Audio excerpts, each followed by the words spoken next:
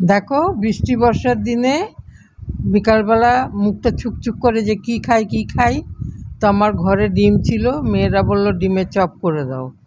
আমিও ডিমের চপ করে দিলাম। এইভাবে করে দেখো কী কী, কীভাবে কী করেছি, না করেছি, আমার সাথে থেকে দেখো। তোমাদের ভালো লাগলে তোমরা এইভাবে করে খাবে, খেয়ে আমাকে জানাবে। দেখো, আজকে আমার ডিমের চপ করবার জন্য কি কি দরকার আমি তোমাদেরকে দেখাচ্ছি। দেখো, আমার এখানে তিনখানা ডিম আছে। এখানে কতগুলো কাঁচা লঙ্কা, চার পাঁচটা কাঁচা লঙ্কা কুচিয়ে নিয়েছি। এই যে আদা আছে, আদাটা বেটে দেবো, রসুনগুলো বাটবো, পেঁয়াজটা ভাজবো, এই যে ধনে পাতা, আর এই যে আমি আলু সিদ্ধ করে রেখে দিয়েছি। এটাকে আমি ভালো করে ঘষে নেব। এরপরে আমি মশলাটা কি তৈরি করব সেটা তোমাদেরকে দেখাবো।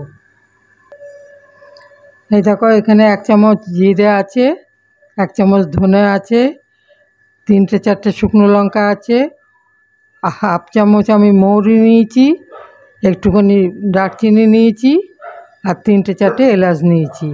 এটাকে আমি ভালো করে মানে হালকা হাতে ভাজবো, ভেজে এটাকে গুঁড়ো করে ওর সাথে মিশাবো। আমার ভাজা হয়ে গেছে দেখো, আমি এবার এটা নামিয়ে নেব। মশলাটা তৈরি করবার জন্য রেডি তেল দিচ্ছি, অল্প করেই দেবো এটা ভাজবার জন্য পেঁয়াজটা। আলুটাকে এমনি করে ঘষে নেবে। ঘষে নিতে আমি ঘষে নিয়েছি, তাহলে পরে দানা দানা থাকবার ভয় নাই। আমি এখানে দেখো মিডিয়াম সাইজে তিনটে পেঁয়াজ নিয়েছি। এখন আমি প্রথমে পেঁয়াজগুলো ছাড়বো। পেঁয়াজগুলো একটু লালচে লালচে হবে, বেশি ভাজবো না।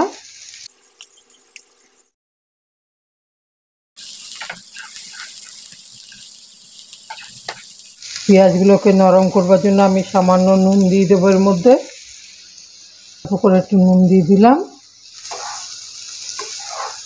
দেখো, পেঁয়াজটা আমার হালকা হালকা ভাজা হয়ে এসেছে।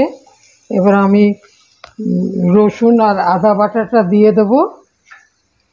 নাহলে কাঁচা গন্ধ বেরোবে, আগে থেকে না দিলে রসুন আর আদা বাটাটা এর মধ্যে দিয়ে এবার ভালো করে নাড়বো। দেখো, এর মধ্যে আমি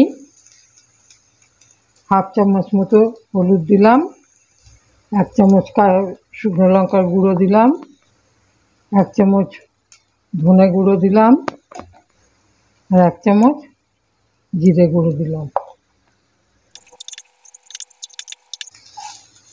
এবার এর মধ্যে আমি কাঁচা লঙ্কা কুচিগুলো দিয়ে দেবো।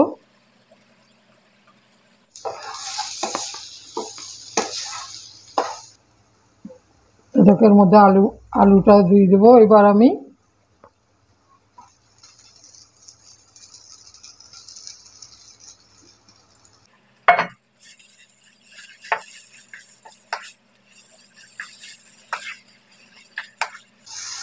সুন্দর করে ভালো করে মাখিয়ে নেবে। এর মধ্যে আমি আরও মশলা দেব। এই যে মশলাটা ভেজে রেখে দিয়েছিলাম, তার থেকে আমি কিছুটা এর মধ্যে দিয়ে দেবো। আন্দাজ মতো এই এক চামচ মতো দিলাম। এটুকু বিট লবণ, এই যে একটু চাট মশলা দিলাম। দেখো, আমি যেমনি করে মেশাচ্ছি এমনি করে মশলাটাকে ভালো করে আলুর সাথে একদম মিশিয়ে নেবে।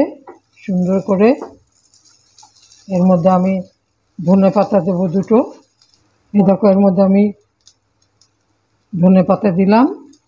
তোমরা ইচ্ছে করলে দিতেও পারো, আবার নাও দিতেও পারো। দেখো কি সুন্দর মিক্সড হয়ে গেছে একদম। এটাকে ঠান্ডা করব আমি। আমি গ্যাসটা বন্ধ করছি।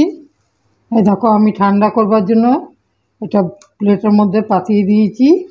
দেখো আমার ডিমের চপ করবার জন্য দুটো কাঁচা ডিমের দরকার। ফাটিয়ে নেবে।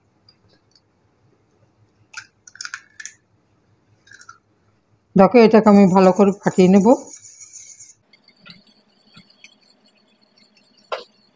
আমি ডিমের চপগুলোকে রেডি করে নেব।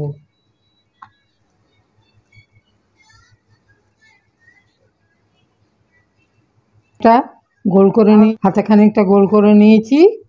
এটা, এটার মধ্যে আমি ডিমটা দেব। দেখো, ডিমের মধ্যে আমি সামান্য বিট লবণ আর সামান্য গোলমরিচ দিয়ে নিয়েছি, যাতে মধ্যে একটু নুনের ভাবটাও থাকে। এটা গোলাটার মধ্যে বসিয়ে এটা দেখো সুন্দর করে মুড়িয়ে নিতে হবে, যাতে পুরোটা ডিমের আকার আসে। দেখো, যাতে ফেটে না যায় সেইভাবে করতে হবে।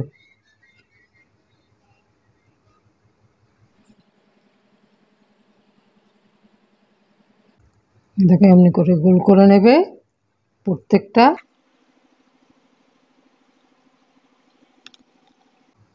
এমনি করে দেবে।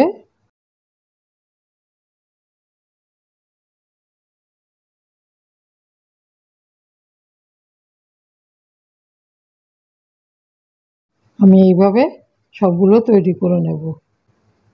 আমি এখন এটাকে পনেরো কুড়ি মিনিট ঠান্ডা জায়গায় রাখব, যাতে ফ্রিজের মধ্যে রেখে দেবো, যাতে জিনিসটা শক্ত হয়ে যায়। তাহলে আর ফাটবার ভয় থাকবে না। কুড়ি মিনিট হয়ে গেছে, এই দেখো এগুলো একটু শক্ত শক্ত হয়ে গেছে। এবার আমি এটাকে ডিমের ইতে চুবাবো। এটা ডিমে চুবিয়ে নিলাম, কাঁচা ডিমে। নিয়ে এটাকে আমি কর্নফ্লাওয়ার ইয়ে বিস্কুটের গুঁড়ো ভালো করে মাখিয়ে নেব।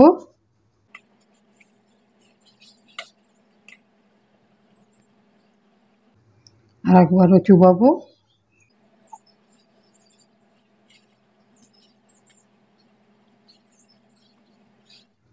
দেখো আমি তেল চাপিয়ে দিয়েছি তেলটাও গরম হয়ে গেছে।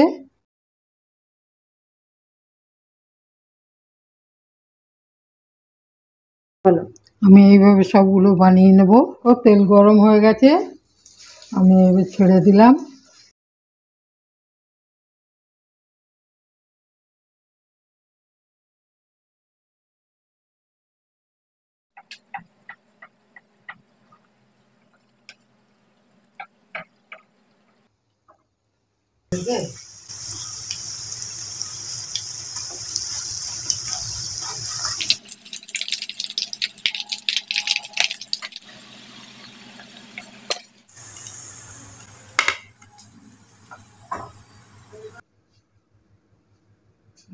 দেখো আমার ডিমের চপ রেডি আমার ডিমগুলো বড় বড় ছিল, যার জন্য চপগুলো খুব বড় বড় হয়েছে। তোমরা এমনি করে করে খেয়ে দেখবে। তোমাদের ভালো লাগলে পরে আমাকে কমেন্ট করবে লাইক করবে সাবস্ক্রাইব করবে, যাতে আমি আবার নতুন ভিডিও নিয়ে তোমাদের সামনে আসতে পারি।